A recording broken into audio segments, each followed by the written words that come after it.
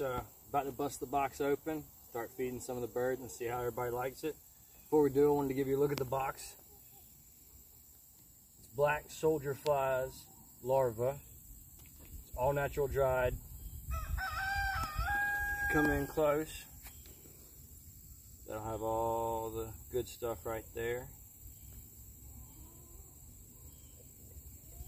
And then it also says it speeds up the molting process, which is good because molting, they're not laying eggs, they're more vulnerable to your rooster spurs and that kind of stuff. So that's good to speed that up. Healthy eggs with stronger eggshells. Usually I put in oyster for that, but that's good so that can be a substitute possibly. I'm gonna look more into that to see if I can substitute. And it's got a natural immune system booster. Anytime you can keep your chickens from getting sick, that always helps. Let's take a look at the inside. Comes in a nice sealed bag.